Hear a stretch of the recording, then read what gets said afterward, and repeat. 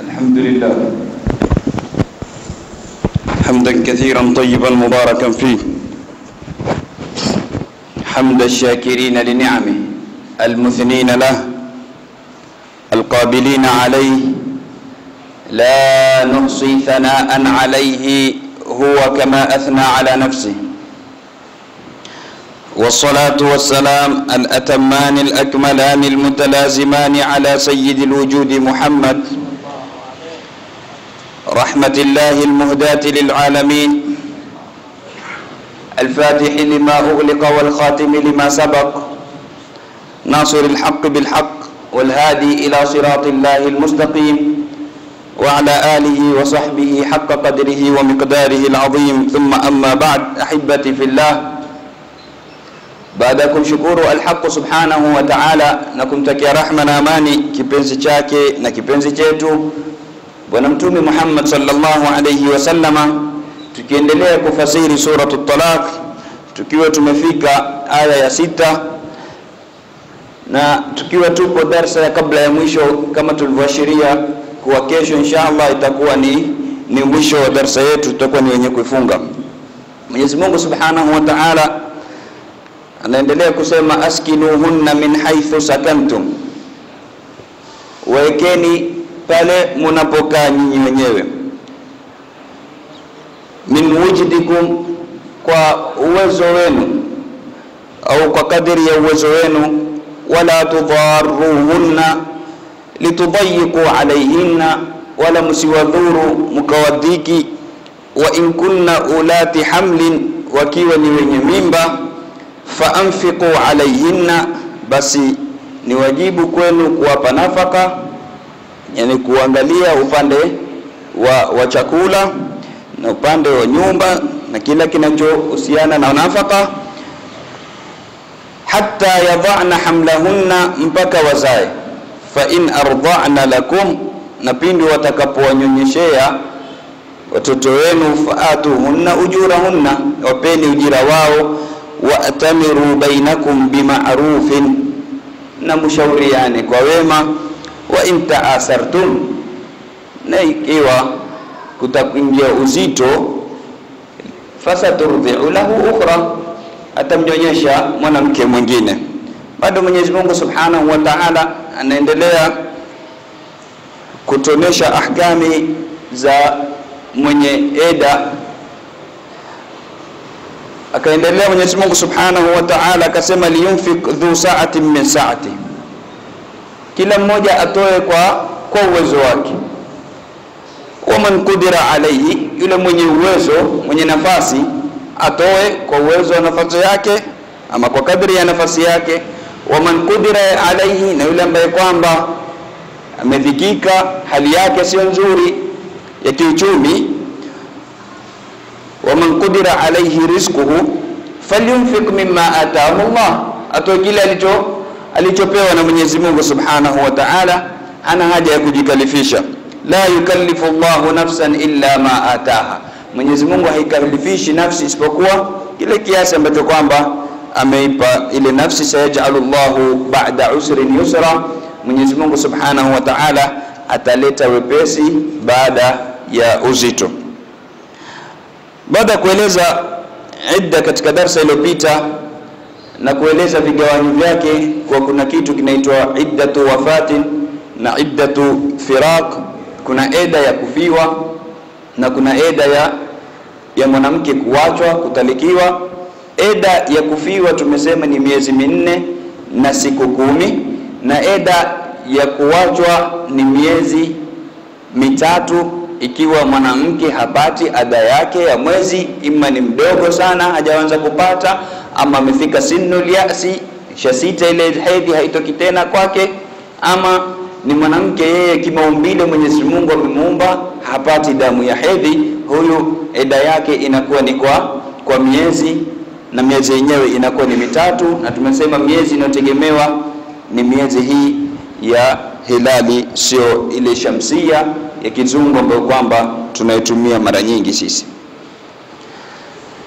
Na kwa yule ambaye kwamba amewachwa na anapata ada yake, tumesema eda yake ni tahara tatu. Eda yake ni tahara ngapi? Tahara tahara tatu. Tayib, kuna kuja masail ambayo kwamba bado yanafungamana na idda. Masala ya kwanza,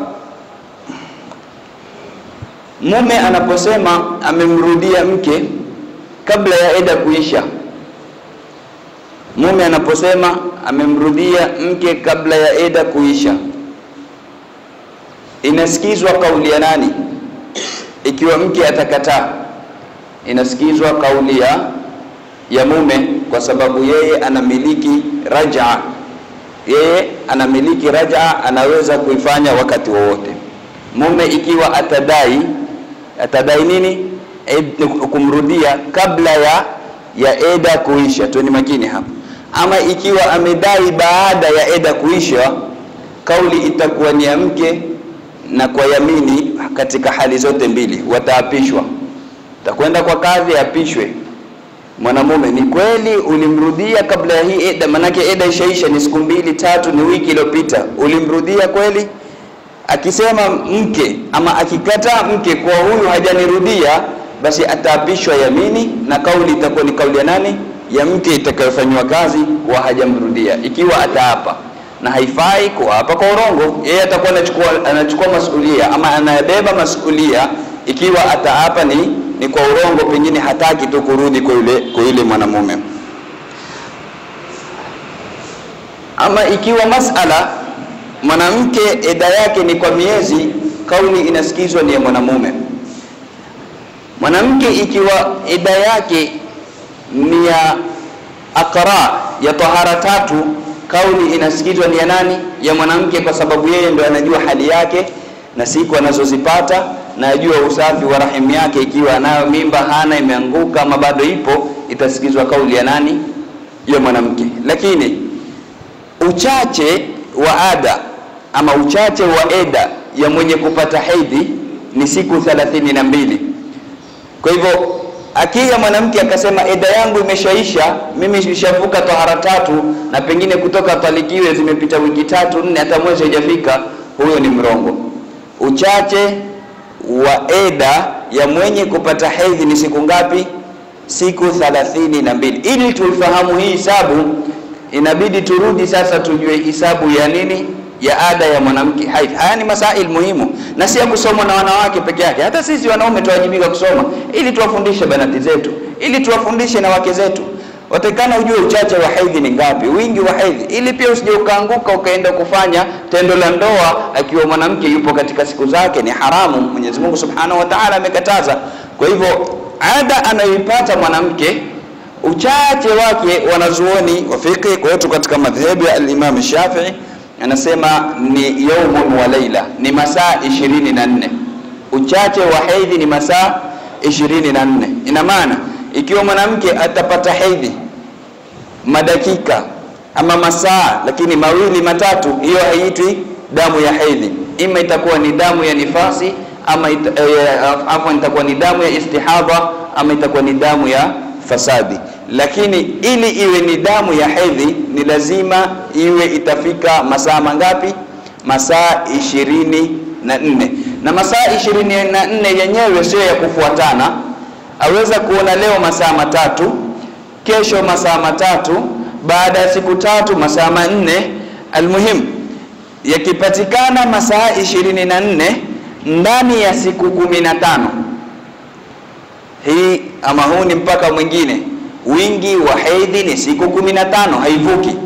Uchache ni masaa ishirini na nne wingi ni siku kumi na tano Ndani ya siku kumi na tano mwanamke akiona hedhi kwa muda wa masaa ishirini na nne kwenda juu, huyu mwanamke anakuwa ni mwanamke mwenye hedhi. Lakini hata kama ndani ya siku kumi na tano imekuja siku ya kwanza dakika mbili baadaye baada ya wiki ikaja dakika tatu ama masaa mawili, baada ya wiki nyingine ikaja ikaja masaa mawili, hii iitwi damu ya hedhi, kwa sababu ukikusanya masaa mawili na mawili yale ni manne, hayajafika masaa 24. Tueni makini katika masala haya, na siku zote zile ambazo kwamba zinapatikana kati ya kuona damu ya kwanza na ya pili zinahesabika ni hedhi. Mwanamke ameona leo hedhi masaa manane kwa mfano, akakaa tena mpaka baada ya siku mbili, siku ya tatu kwa masiku ya nne akaona tena masaa manane. Ile siku ya pili na siku ya tatu inahesabika ni ni hedhi. Mwanamke hafai kufunga wala hafai kuswali, lakini hii hukumu ni kwa yule mwanamke ambaye kwamba tayari anajua ada yake, yani ashawahi kupata hedhi kabla ya hapo, si mara ya kwanza. Lakini kwa mwanamke ambaye kwamba ni mara ya kwanza, ndo mwanzo aanza kupata damu ya hedhi, ikiwa amepata masaa manane, baadaye ikakatika, basi ikishakatika atajitahirisha, ataswali na atafunga. Zile siku mbili zitakazofuatia ataswali na atafanyaje? Atafunga, kwa sababu hawezi, hajui, pengine yale masaa manane amepata ndo ishaisha, hajui kama itarudi. Kwa hivyo ikirudi baadaye ataangalia ni masaa mangapi ameyapata. Almuhimu kwa ule mwezi wa kwanza, kwa kuwa ni mara ya kwanza anapata ile damu ya hedhi, atakuwa baadaye katika mwezi unaokuja ni mu'tada, tayari ashajua ada yake. Kwa hivyo katika mwezi unaofuatia akishapata yale masaa manane ya kwanza, akitahirika, baada ya hapo ajua hizi siku mbili zilizoko katikati hizi pia ni hedhi, kwa sababu unajua baada ya siku mbili nitapata tena nitapata damu. Kwa hivyo hukumu kama hii ni hukumu ya mu'tada, mwanamke ambaye kwamba tayari ashawahi kupata damu yake ya hedhi, ashawahi kupata ada akiwa amepata masaa kadhaa, siku ya kwanza, siku ya pili hakuna, siku ya tatu ipo, ujue maadamu ni ndani ya siku kumi na tano zote ni zote ni haidhi na hufai kumwingilia. Ikiwa ni istihadha, wafaa kumwingilia, na ni masala ambayo kwamba wengi pia wanaghafilika nayo. Damu ya istihadha, damu ya istihadha tumesema ni damu ambayo kwamba sio ile ya ada yake ya mwezi.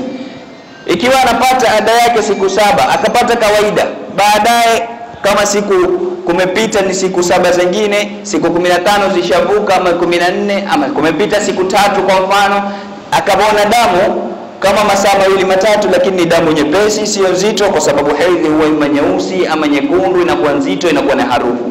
Akiona ni damu nyepesi, basi anajua ile ni, ni istihadha. Kwa hivyo istihadha inatoka siku tofauti na ada zake. Istihadha ni damu inaonekana baada ya siku kumi na tano zile za hedhi. Ikitoka damu zaidi ya siku 15 inakuwa ni ni istihadha.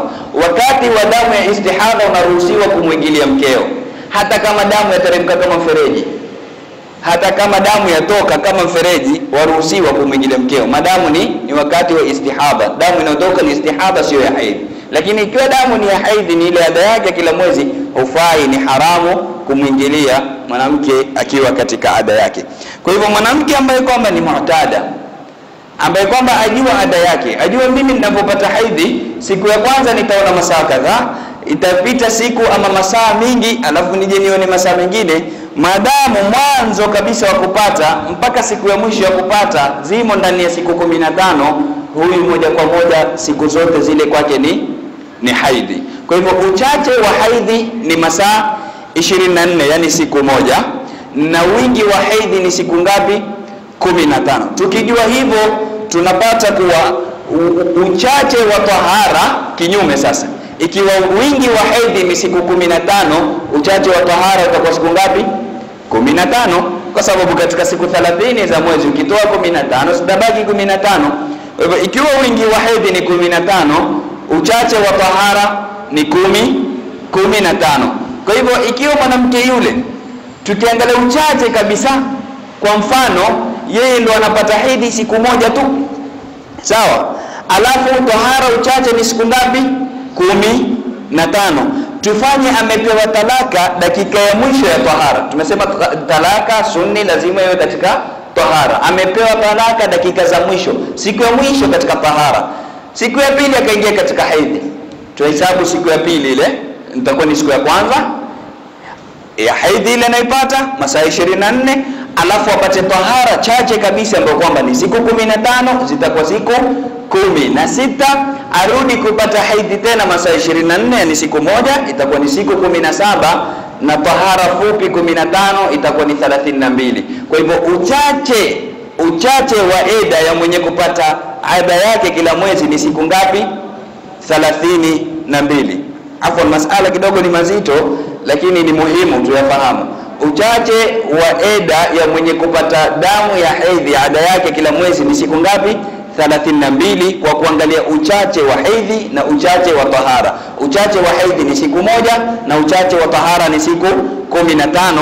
Akiwachwa siku ya mwisho ya tahara, anaingia siku ya kwanza ya hedhi, inahesabika kumi na tano, ambayo itakuwa ni tahara ya pili. Sasa itakuwa ni siku kumi na sita, alafu ije hedhi nyingine, itaongezeka siku moja kumi na saba, alafu ije tahara ya mwisho ya tatu, siku kumi na tano, zitakuwa siku thelathini 32. Mwanamke akidai kwa eda yake imeisha ndani ya wiki mbili, wiki tatu, mwezi moja yani chini ya siku 32 na kidogo kidogo, inaongezwa yani lahdha mbili, lahdha ile ya, ku, ya kuachwa na lahdha ya kujitahirisha. Akisema eda yake imeisha kwa siku 30 ni mrongo kwa sababu haiwezekani. Uchache kabisa ni siku 32 ikiwa amepewa talaka katika tahara. Ikiwa amepewa talaka katika haidhi, tumesema kutoa talaka katika haidhi ni haramu, lakini talaka yapita, talaka inapita.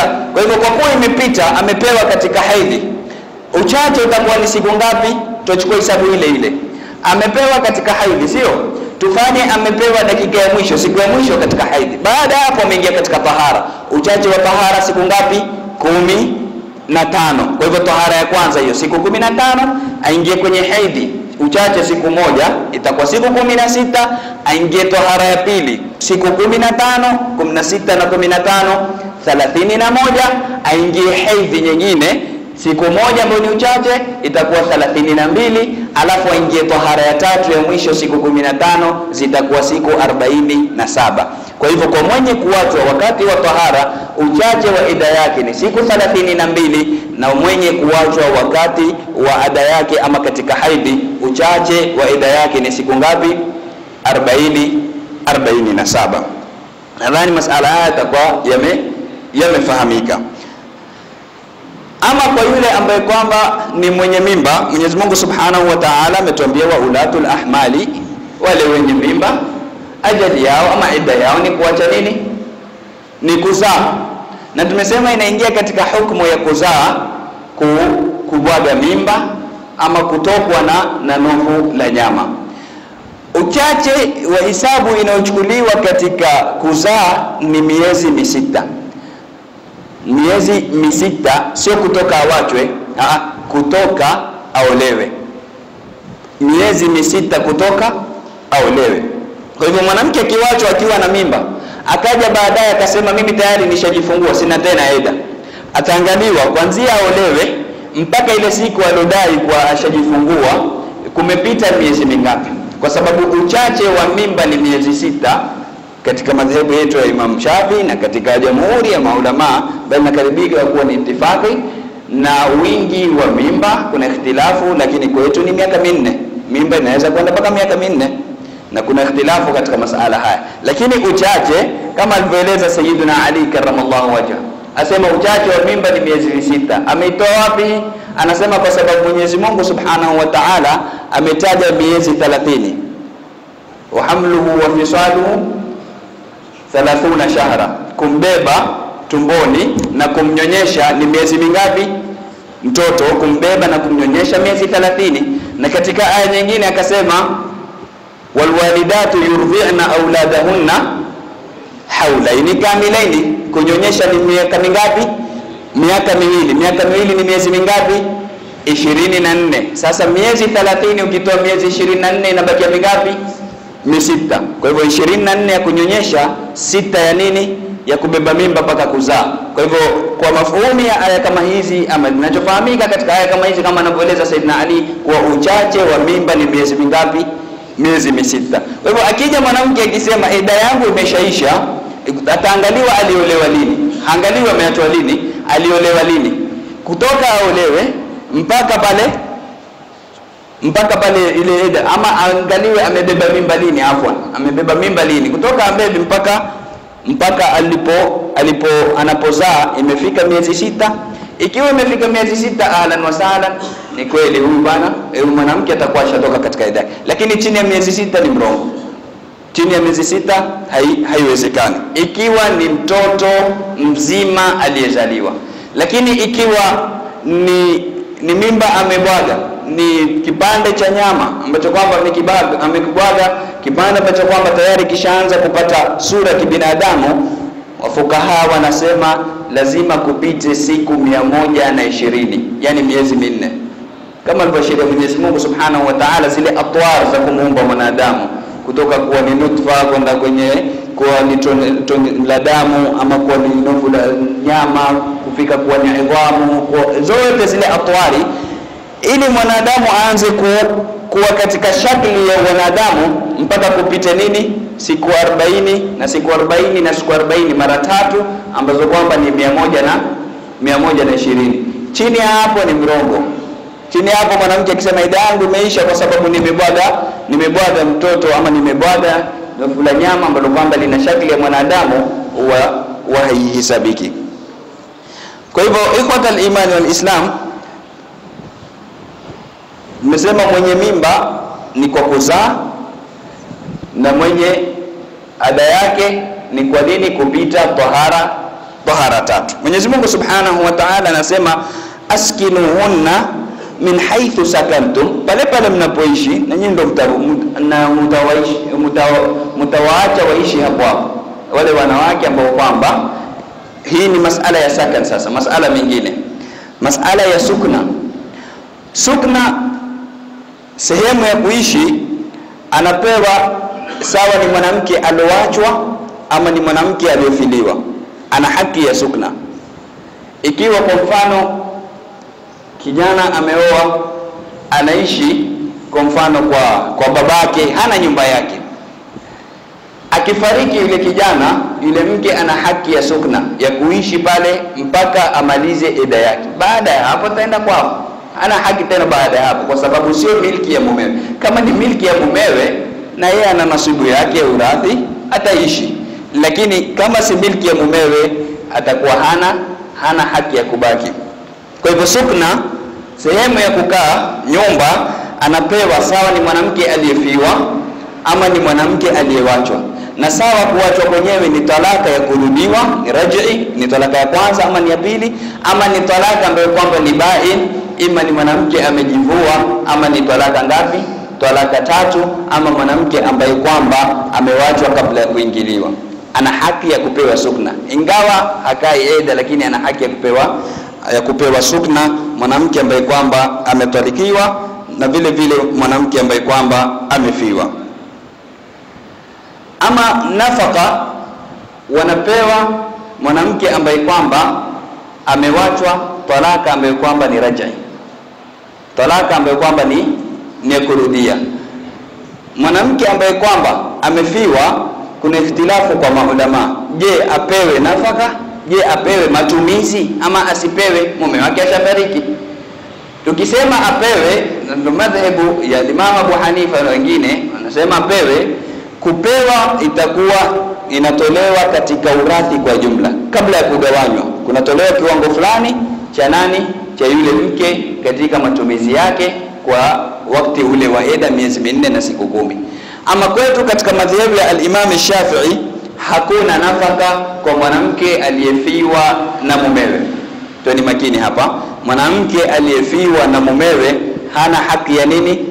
Ya nafaka, yani matumizi hapewi, atatumia ile ile lile lile fungu lake la urathi, lile fungu lake la urathi atakalopewa ndio atakalo atakalotumiwa. Hii ndio madhehebu yetu ya al-Imam Shafi'i radhiyallahu anhu. Kwa Mwenyezi Mungu asema askinuhunna min haithu sakantum, wakitisheni hapo hapo wacheni waishi hapo hapo mnapo mnapoishi nyinyi mpaka eda iishi, alafu watakwenda zao. Hawafai kutoka wala haufai kutolewa, kama alivyosheria katika ile aya ya kwanza ambayo tumetangulia kuifasiri. Alafu akaeleza Mwenyezi Mungu min haithu au min wujdikum askinuhunna min haithu sakantum min wujdikum. Wujdikum ni sawa katika kiraa chengine wajdikum na katika kiraa chengine wujdikum, yani inakuja kwa fatha, kasra na dhamma kwenye wao, yote ni sawa, zatumika katika lugha ya Kiarabu zote tatu, na ina maana ya nini?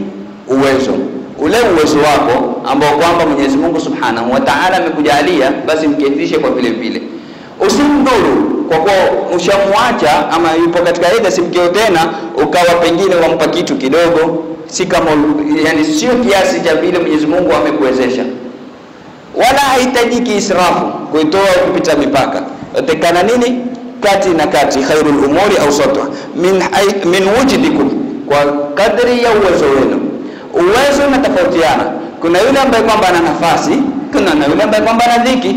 Kwa yule mwenye nafasi atakikana ampe kwa nafasi yake, na ndio maana Mwenyezi Mungu Subhanahu wa Ta'ala tutakuja kuona katika aya saba aya saba akasema liunfik dhu saati min saati. Mwenyezi Mungu ikiwa amekupa nafasi, patie, usimnyime. Umepewa nafasi wewe, wala vitoweo na nini, ye umpe sijui mkasima lesi makavu kwa mboga, ama umpe mchele mkavu bila Ha, kama unavyo ulivyopewa nafasi na Mwenyezi Mungu, na yeye vile vile muangalie kwa ile nafasi yako. Wala tudharuhunna, wala msiwadhuru, msiwadhuru katika nini? Katika makazi, katika sukna, na vile vile msiwadhuru katika nafaka, katika matumizi litudhayiku alaihinna, ili muwadhiki. Kuna wengine huwadhuru wakawadhiki kusudi ili wawafukuze nyumbani, ni makosa, haifai kumdhuru. Mumeoana kwa wema, na katika kuachana pia kuatakikana kwa wema. Stahimili, subiri ile miezi ya nini ya eda ipite, alafu mambo yatakuisha, kila mmoja atakwenda kivyake. Wala tudharuhunna litudhayiqu alaihinna, msiwadhuru ili kwa kuwadhiki asema wa in kunna ulati hamli, wakiwa ni wenye mimba, faanfiku alayhinna ikiwa ni wenye mimba sawa, umemwacha ni talaka moja ama ni talaka tatu, kwatakikana nini? Nafaka utampa mwenye mimba, tofauti na aliyepewa talaka tatu. Aliyepewa talaka tatu ambaye kwamba hana mimba, hapewi nafaka, hapewi matumizi. Aliyepewa kweni makini hapa Sukna anapewa lakini matumizi hapewi. Lakini aliyepewa talaka talaka tatu akawa ana mimba atapewa kwa sababu ya nini? Atapewa matumizi kwa sababu ya yule mtoto. Asema wa, ulad wa in kunna ulati hamlin, wakiwa ni wenye mimba, faanfiqu alayhinna, wapeni matumizi, wapeni nafaka, hata yadhana hamlahunna, mpaka wazae. Wakishamaliza kuzaa, halas hamtoto hamutowalipa tena lakini maadamu wana mimba sawa, ikiwa umemwacha mwezi wa kwanza utampa mpaka mwezi wa tisa. Ukiwa umemwacha ndio mwezi wa nane, umemwangalia ile minane ulikuwa naye katika ndoa, utampa mpaka nini? Mpaka mpaka azae. Baada ya kuzaa, mtoto ni wako, lazima umwangalie. Hapa tunazungumziwa mwanamke, kwa sababu amebeba mimba. Mimba shekhe, mwenye e, mwenye mimba anahitajia kula ili mtoto awe hai, anahitajia nini? Ana matumizi yake, kuna madawa ili mtoto asidhurike. Kwa hivyo zote zile nafaka utamwangalia kwa sababu ya yule ambaye kwamba yupo ndani ya tumbo lake, sawa ikiwa amepewa ni talaka moja ama ni talaka tatu.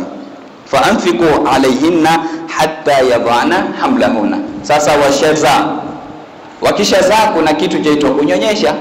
Sasa katika kunyonyesha, Mwenyezi Mungu asema fa in arbana lakum, ikiwa watawanyonyesha watawanyonyeshea watoto wenu afwan fa in ardana lakum, ikiwa watawanyonyeshea. Na kunyonyesha kama tulivyotanguliza kusema, kunyonyesha ni kutakikana kutoka kama walivyoeleza mafukaha, maziwa ya mwanadamu mwanamke, maziwa ya mwanadamu mwanamke yafike katika jaufu ya mtoto.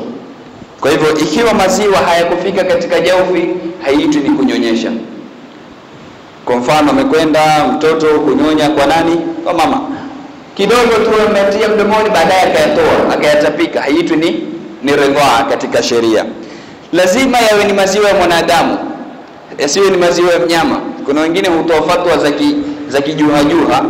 Nishaisikia mmoja haswa asema, mkila skirimu ya kampuni moja ukienda ukila sijui ya Lasmaid na mwingine mwanamke akala skirimu ya kampuni hiyo hiyo, hawafai kuoana kwa sababu ni ndugu katika kunyonya, umekunywa maziwa moja.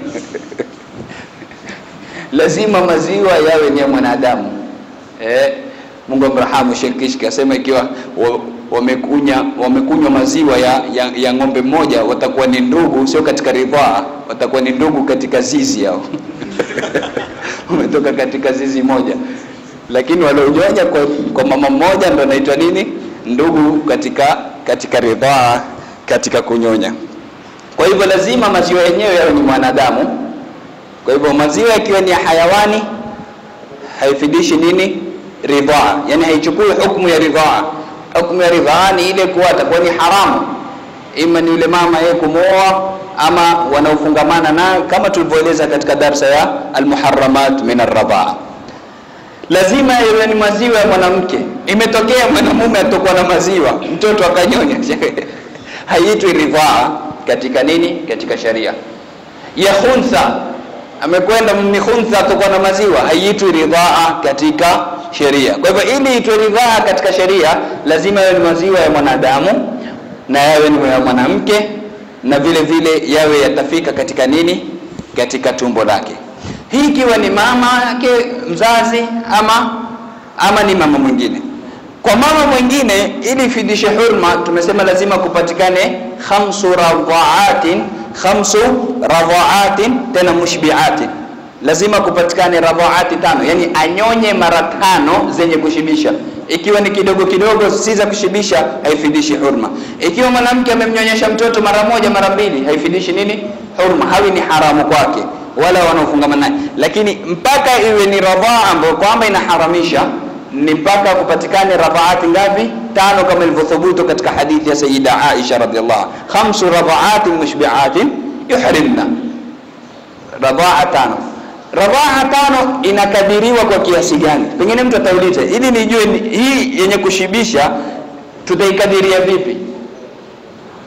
Ile ujue ni ya kushibisha ni mpaka mtoto awe atalitoa eh, lile titi la mamake katika mdomo wake ameshiba amekunywa, ameshashiba kabisa, ama atachukua muda mkubwa mpaka amelala, amekunywa muda mrefu mpaka amelala pale pale, hajalitoa mwenyewe. Hii inaitwa pia ni, ni ya kushibisha. Ama ya kumtoa mtoto kifuani upande wa kulia kumpeleka upande wa kushoto, haiwi ni mbili tofauti, inakuwa bado ni ni radhaa moja. Amemnyonyesha upande wa kulia, amehisi maziwa yanaisha huku, amempeleka upande wa kushoto, inakuwa ni ni rafa moja, sio rafa mbili tofauti. Amemnyonyesha kwa mfano, alafu akakumbuka kuna kitu cha ungua jikoni, akamwacha akakimbia mara moja kukiangalia, akarudi akaendelea, inahesabika ni ni rafa ni rafa moja. Kwa hivyo ili iwe rafa mushbia, inakuwa ni alinyonya mpaka mwenyewe akashiba, ima akalitoa ama mpaka akalala pale ama mpaka akamaliza akatolewa na mamake, hakuna neno, lakini amenyonya kwa kiasi, kwa kadri kubwa. Na hapa wanazuoni wengine wanasema inatofautiana na kutofautiana jamii, jamii zinatofautiana, sio watoto wote hunywa sawa. Kuna watoto wengine wakinyonya dakika mbili washatosheka, kuna wengine wakarobo saa kwenye kifua cha mamake. Kwa hivyo taangaliwa jamii yenyewe ile, hukumu itakwenda na nini na sehemu na ada zao na maumbile ya watoto wao. Mwenyezi Mungu Subhanahu wa Ta'ala atuambia fa in ardha'na lakum. Sasa nyinyi mshawaacha hawa wake, walikuwa na mimba, wamezaa, si wake zenu tena. Sasa kuna kunyonyesha. Nini hukumu ya kunyonyesha? Je, wajibika yule mwanamke kumnyonyesha yule mtoto? Hawajibiki, Sheikh. Akisema ataitisha ujira kwa kumnyonyesha, ni utamlipa. Naam, ni mamake kweli, ni vizuri, si tabia nzuri wala si katika akhlaki mwanamke aseme sitaki, sitamnyonyesha mtoto kwa kuwa babake amenitupa na nini. Ah, ni mwanawe atakana mnyonyeshe, bali ba, baadhi ya fukaha wanasema ni wajibu haswa yeye yule mwanamke kumnyonyesha, lakini kwa mafhumu na dalala ya ayati kuwa yeye hawajibiki kunyonyesha. fa in ardana lakum faatuhunna ujurahunna, walipeni walipeni. Kwa nini? Kwa sababu kile anachokinyonya yule mtoto ndo anachokila yule mama. Mama ikiwa hakula vizuri, hakupatikani maziwa. Kwa hivyo ile mtoto, ili mtoto wako apate maziwa anyonye kwa yule mama, atakana umlishe nani?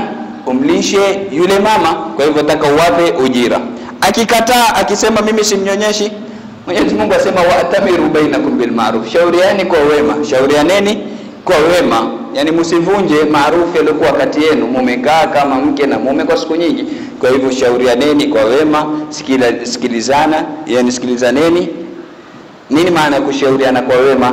Yani mwanamke asikatae kumnyonyesha mwanawe, asimnyime, kwa sababu maziwa ya mama ni maziwa ambayo kwamba ni muhimu zaidi na yenye afya kuliko enda akapewe maziwa ya ng'ombe na vile vile upande wa mwanamume sasa kushauriana kwa wema ni kuwa asikatae kumlipa. Kwa hivyo mwanamume asiwe mgumu, kutoa na mwanamke vile vile pia asiwe mkaidi ku, kunyonyesha. We ni kati na kati, mwanamke anyonyeshe na mwanamume ampe, amwangalie yule mwanamke e, kitu chochote ambacho kwamba kitamsaidia katika katika kula kuyapata maziwa.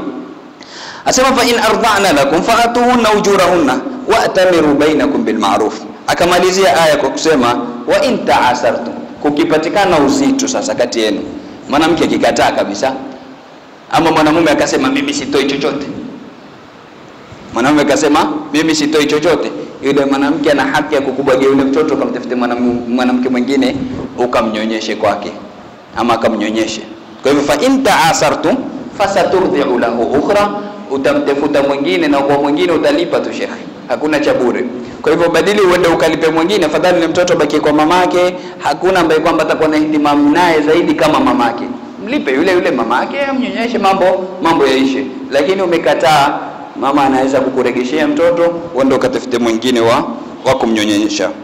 Liunfik dhu saati min sa'ati, Mwenyezi Mungu akaendelea kusema, mwenye uwezo atoe kwa kadri ya ya uwezo wake, usimviki, usimdhuru Naam, hata kama umemwacha ama mmeachana, yeye bado kuna ile maarufu, mlikaa mlikuwa na ishra kati yenu. Kwa hivyo mpe kwa kadri ya nini, ya uwezo ambao kwamba Mwenyezi Mungu Subhanahu wa Ta'ala amekuwezesha.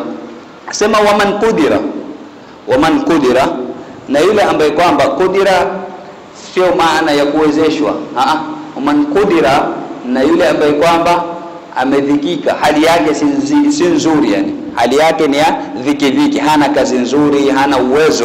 wa man qudira alaihi rizquhu, yule ambaye kwamba Mwenyezi Mungu ameibana riziki yake, amemdhiki katika riziki yake, hajampa uwezo mkubwa. falyunfik mimma atahu Allah, atatoa kile alichopewa na Mwenyezi Mungu Subhanahu wa Ta'ala. Yani mwanamke hafai kumkalifisha yule mwanamume zaidi ya twaka yake, kile ambacho kwamba Mwenyezi Mungu amemjalia ndio atakachotoa hana uwezo, huwezi kumwambia mimi kwa sababu namnyonyesha sijui mtoto wako, basi nataka kula chipsi na kuku kila siku ya kutoka sijui hoteli gani nani. Ah, falyunfik mimma atahu Allah, atatoa kiasi ambacho kwamba amewezeshwa na nani? Na Mwenyezi Mungu Subhanahu wa Ta'ala, kwa sababu taklifu ni haramu katika sheria. Mwenyezi Mungu asema la yukallifu Allahu nafsan illa ma ataha, Mwenyezi Mungu haikalifishi nafsi isipokuwa kile ambacho kwamba ameipa ile nafsi, ule uwezo ambao kwamba ame, amekupa wewe, basi utatoa kwa ule uwezo wako. Akamalizia kwa kusema sayajalu llahu ba'da usrin yusra, Mwenyezi Mungu Subhanahu wa Ta'ala baada ya uzito ataleta nini? Ataleta wepesi. Ikiwa kuna dhiki kiupande wa riziki, mwanamume hali yake ni ngumu Mwenyezi Mungu Subhanahu wa Ta'ala atamjalia wepesi. Baada ya hapo, asimnyime mke wake, atoe. Akitoa Mwenyezi Mungu atamtilia baraka, kutakuja wepesi baada ya hapo. Ikiwa kuna uzito, usri ya kugombana, ya kuteta katika masala ya kunyonyesha kati ya mume na mke, wasikizane kwa uzuri. Wakiwa wamesikizana kwa uzuri kwa kufuata amri ya Mwenyezi Mungu Subhanahu wa Ta'ala na wasia wake, Mwenyezi Mungu atawafanyia nini? Atawafanyia wepesi lakini ikiwa atakwenda kinyume na hivyo, usri itabakia itabakia pale pale, na siku zote baada ya usri huja yusraini, kama alivyosema Mtume sallallahu alaihi wasallam, asema walan yadhia usrun yusraini, haitopotea uzito mmoja ama baada ya uzito mmoja lazima kutakuja nini? Wepesi mara mbili. Kwa nini? Kwa sababu Mwenyezi Mungu Subhanahu wa Ta'ala amesema inna ma'al usri inna ma'al usri yusra inna ma'al usri yusra, amerejelea mara mbili. Fa inna ma'al usri yusra inna ma'al usri yusra. Yusra zimerudi mbili na usra pia zimerudi mbili, lakini mbili za usra zimerudi na alif na lam.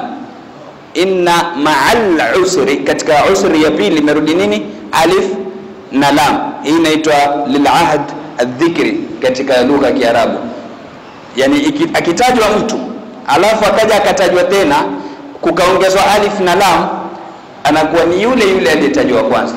Kwa mfano nikisema jaa Muhammadun, amekuja Muhammad, ama jaa eh, eh, almuallimu, amekuja mwalimu. Nikisema tena mara mbili wa raaitu almuallima, na nikamwona mwalimu. Huwa ni mwalimu yule yule aliyekuja ikitiwa alif na lam kwa mara ya pili. Lakini nikisema jaa almuallimu alafu nikasema raaitu muallima, itakuwa ni mwalimu mwingine. Tupo pamoja hapa katika kawaidi za kilugha neno likitajwa ama jina likitajwa baadaye likarudi kwa alif na lam, inakuwa aliyekusudiwa ni yule yule, na likirudi bila alif na lam, anakuwa alikusudiwa ni ni mwingine. Mwenyezi Mungu Subhanahu wa Ta'ala, usri ya pili ameileta kwa alif na lam, inna ma'al usri. Kwa hivyo ni ile ile usri moja, ule ule uzito aliotaja wa kwanza, lakini yusr zote zimekuja bila alif na lam. Inna fa inna ma'al usri yusra, inna ma'al usri yusra na ndio maana Mtume sallallahu alaihi wasallam akasema hasitupotee yusri mbili katika nini, usri moja. Uzito mmoja utakuwa na kutakuwa na wepesi mara mbili. Ndo mara nyingi wanasema baada ya dhiki ni ni faraja, hakuna dhiki wa dhiki. Baada ya dhiki ni faraja ya Mwenyezi Mungu Subhanahu wa Ta'ala. Kuna masala muhimu pia tunataka tuyashirie, masala ya ya eda kwa mwenye kuletewa habari baada kwa muda. Kwa mfano, mwanamke ana ama mume yake anafanya kazi nje, mji wa nje ama nchi za nje, akaletewa habari ya kifo, lakini habari yenyewe ikaja baada ya kupita miezi kadhaa ama mwaka. Je, ataanza kukaa eda kuanzia inapokuja habari?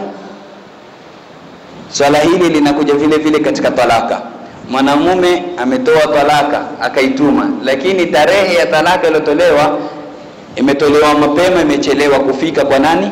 Kwa mwanamke. Imefika baada ya eda yake kuisha, atakaa eda ama hakai? Mwenye i'anatu talibin anasema hakuna cha eda hapo, maadamu wakati umepita. Yani ikija ni tarehe, ameambiwa mumeo alifariki mwaka jana mwezi wa sita eh, kuanzia mwezi wa sita mpaka sasa kushapita miezi zaidi ya minne na siku kumi, hana cha eda, hana cha eda mwanamke kama huyo. Na vile vile imekuja ni talaka, naambiwa talaka hii ilitolewa tarehe fulani, lakini imechelewa kufika tu kwake. Kutoka itolewa talaka mpaka wakati ule imepita siku za eda, imekwisha eda yake. Ikiafiki nusu atakamilisha, ikiwa imeisha hana hana eda, lakini imeafiki nusu, imekuja habari ya kifo, mumeo amekufa mwezi uliopita, kushapita mwezi, sio? Atakamilisha mitatu na siku kumi ikiwa ita, itafiki nusu, lakini imekuja baada ya kuisha. Mwenye anatu talibin asema hakuna eda kwa mwanamke kama huyo. Kwa hivyo mpaka hapa tutakuwa tumeashiria yote kwa jumla, masala yanayofungamana na eda, masala yanayofungamana na sukna, makazi, masala yanayofungamana na nafaka matumizi na vile vile masala yanayofungamana na, na ridhaa kunyonyesha. Kabla hapo tumezungumza kwa mapana na marefu kutoka mwanzo wa Ramadhani. Sisi tupo katika fikhi ya ndoa, kutoka mwezi wa Ramadhani tunazungumza ndoa katika Uislamu, kuanzia mukaddimati mpaka kufika katika ardhi, mpaka kutaja arkani, nguzo za ndoa tano, mpaka kuja kuingia katika talaka, mpaka sahihi kufika katika hapo tulipofika. Aya zilizobaki tutakuwa zinazungumzia masala tofauti na masala ya nini ya fiqh ya familia, na tutaziacha mpaka kesho inshallah. Tutazimaliza, tutazimaliza aya hizi kesho kuzifasiri, na vile vile itakuwa ndio kufunga darsa yetu, Mungu akipenda. Baada ya hapo, yoyote ambaye kwamba atakuwa na swali kama tulivyoahidi, tutaacha nafasi ya maswali. Nafasi ya maswali tutaiacha kesho. Kwa yoyote ambaye kwamba ana swali kutoka mwanzo wa safari hii ya fikhi ya ndoa mpaka hapa tulipofika, yoyote ambaye kwamba atakuwa na swali basi kesho aliulize swali hilo tutakapotoa nafasi ya, ya maswali. Tumwomba Mwenyezi Mungu Subhanahu wa Ta'ala atujalie min alladhina yastami'una alqawla fayattabi'una أحسنه مدة